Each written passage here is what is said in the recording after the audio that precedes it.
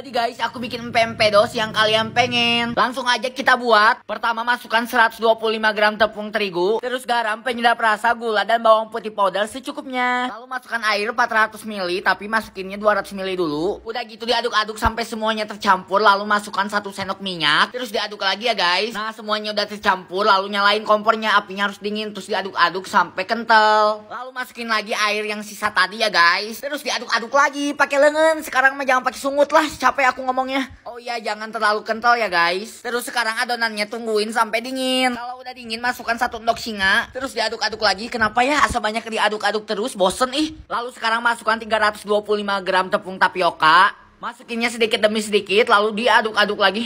Bosan.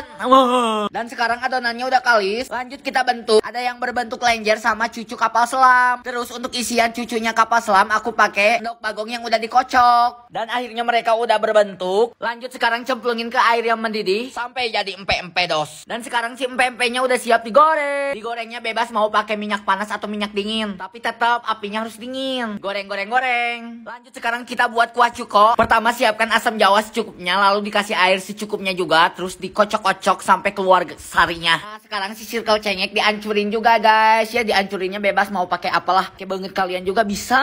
Lanjut sekarang masukkan 400 ml air terus asam jawa circle cengek 3 sendok gula putih satu setengah sendok teh garam dan terakhir 200 gram gula merah diaduk-aduk. Pokoknya mah ini bakal nyorocos ee danan banget. Langsung aja kuah cokonya disaring dan udah jadi guys. Terus sekarang pempeknya dipotong-potong pakai pisau lalu masukin ke dalam piring terus siram atasnya pakai kuah cuko dan udah jadi guys. Mari kita lebok. Sumpah guys ini rasanya bebeledagan nyorocos. Apalagi empe-empenya tanpa ikan lembut banget. Kuah cukonya juga edan banget bebeledagan.